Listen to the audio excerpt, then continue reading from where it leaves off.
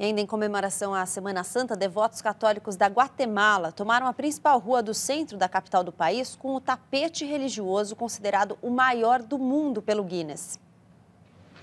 A tradição no país foi motivo também para outra comemoração nessa Páscoa. Superou o próprio recorde com o título de ser o maior tapete religioso do mundo.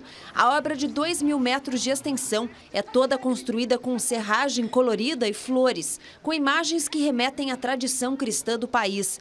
Neste ano, 600 metros a mais foram elaborados para que o recorde anterior fosse superado. O tapete levou 54 toneladas de pó colorido e 7 horas para ser finalizado.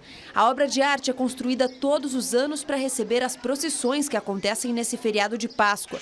Apesar de todo o trabalho empenhado, o tapete é temporário. Passadas as comemorações, a serragem e as flores são retiradas das ruas.